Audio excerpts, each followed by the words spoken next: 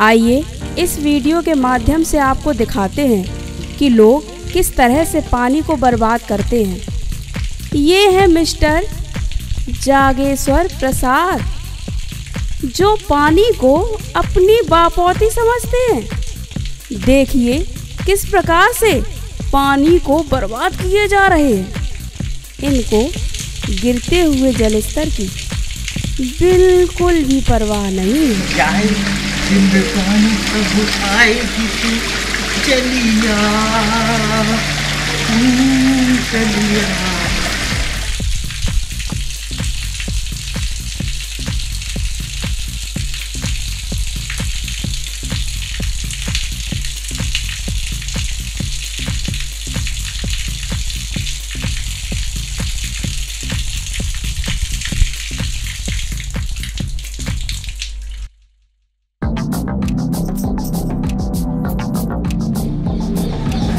अच्छा तुम हमारे काम में दखलंदाजी करेगा हमारे नहाने धोने पर ही प्रतिबंध लगाएगा। हमने क्या प्रतिबंध लगा दिया?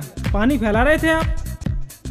अरे राम बचन हरिओम शंकर जल्दी आओ देखो मैं तो लुट गया बर्बाद हो गया। इसे हमने इसीलिए भेजा था शहर पढ़ने लिखने। ये तो हमारी बेइज्जती करने लगा। अरे अरे कहा है भाई? कहा चला रहे हो? अरे देखो हमारे लाडले को इस नालायक ने नल बंद कर दिया।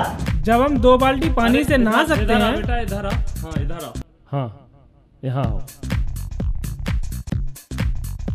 बेटा ये बाप है बाप। हैं? काहे के लिए नल बंद कर दिया? अरे नहाने दो।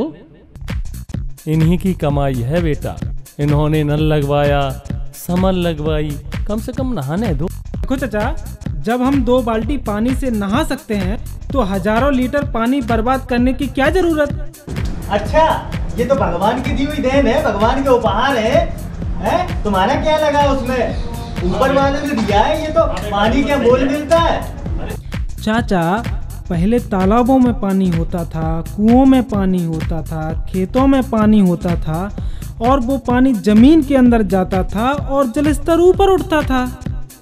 चाचा, आज के समय में गलियाँ पक्की हो गई, सड़कें पक्की हो गई, पानी ज़मीन के अंदर नहीं जा पाता और जलस्तर नीचा गिरता जा रहा है। चाचा अब जो पानी बचा है वो आप लोग इस तरीके से बर्बाद कर रहे हैं। बाकी आप समझदार हैं ही। सही कहते हो बेटा सही कह रहे हो बेटा। ये तो हमने कभी सोचा ही नहीं था राम लखन। बेटा तो वाकई में पढ़ लिख कर होशियार हो गया है।